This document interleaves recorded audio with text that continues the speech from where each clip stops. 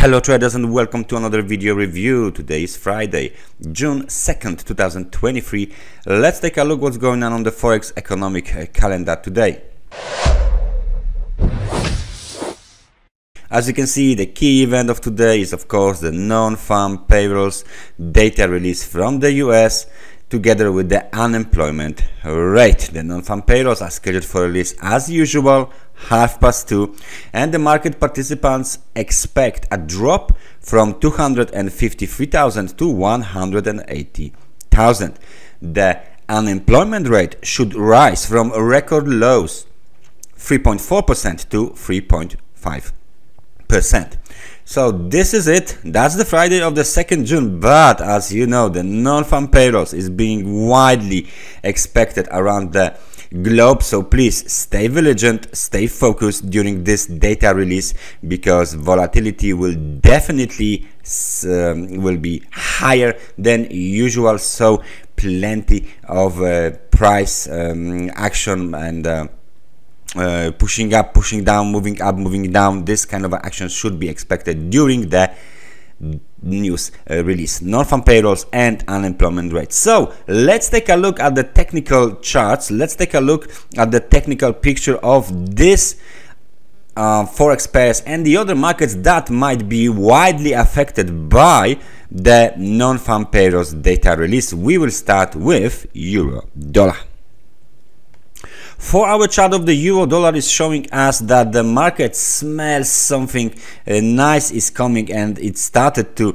uh, rise um, already. We got tweezer bottom, bu bullish engulfing, um, bullish hammer and as you can see from the level of let me just take a look and uh, grab my magnet uh, 1.0636 we already managed to jump quite uh, nicely. So let me just zoom in to see what is going on here in more details. We are trading above the 50 periods moving average above the local um, local uh, technical resistances and as you can see we are trading above this kind of an important technical resistance 1.0761 that provided the the uh, support uh, plenty of times so we broke above this um, level. Now we are consolidating here trying to move higher. The local high was made at 1.0780 where is the next target? The next target is 100 periods moving average located at 1.0790 uh, the next technical level the technical resistance is seen at 1. 0832 so that's the resistance already. And let me just zoom out to see where is eventually any other uh, target and historical target. There you go. This is very nice uh, technical resistance. And of course this one will play major role as well. So let's just put one more here to the lows of 1.0789 this is the technical resistance as uh, well how much did we retrace? Well not too much. It, it looked like it's below the 38 percent. But the momentum as you can see finally broke above the level of 50 now the um, current level is 62 points. Momentum is strong. Momentum is positive. There is a room to rally higher there is a room to rally higher on the euro dollar chart as well so we should expect another extension to the downside unless there is a big disappointment in the NFP payrolls figures. So that's the euro dollar. The other market which is likely to be affected by the non-farm payrolls data release is of course U USD to the Japanese yen.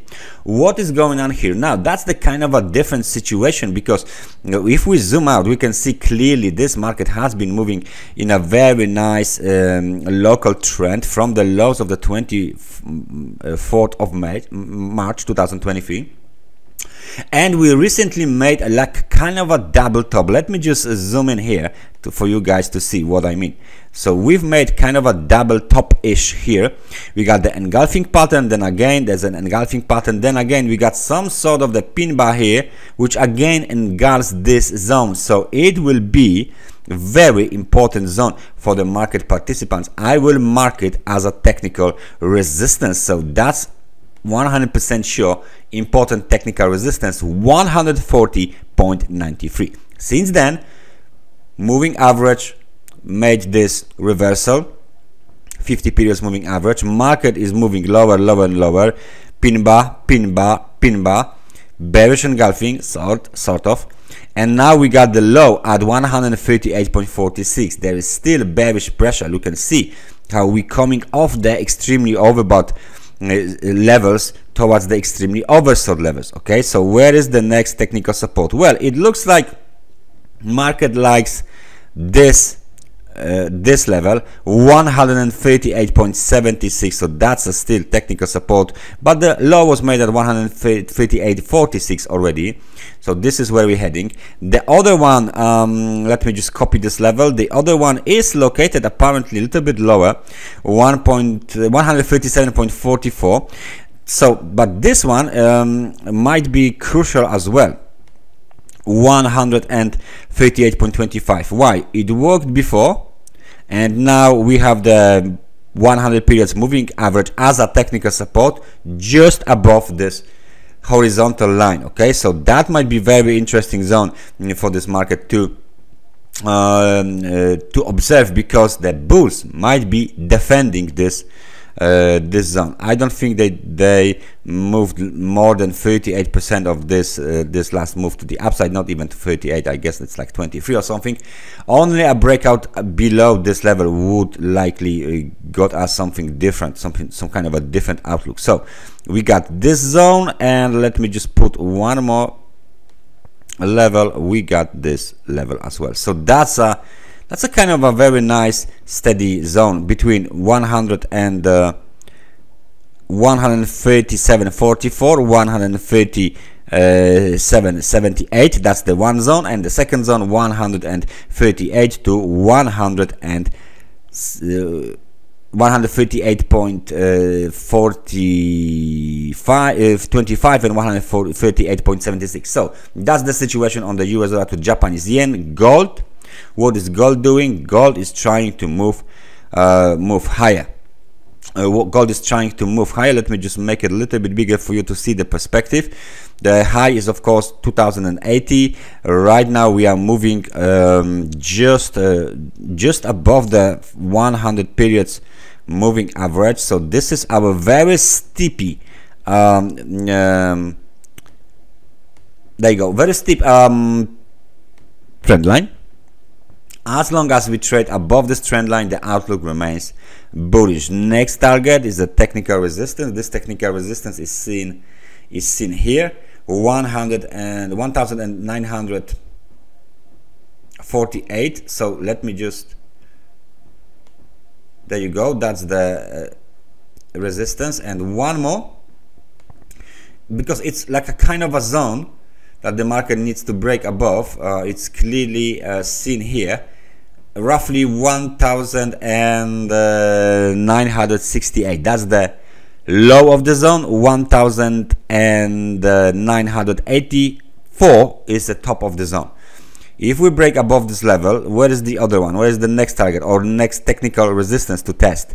The next one is located here around 1999 basically 2000 dollars per ounce of gold the outlook for the mm, gold looks bullish, however, market is approaching the extremely overbought conditions. So it corresponds to this zone here. So we should see a test of this zone before the market participants will make a decision what they want to do next. And last but not least the market that will be um, you know under the pressure when the data is released is of course mm, uh, the S&P 500 so the S&P 500 is as you can see trading very very uh, closely to the recent swing high.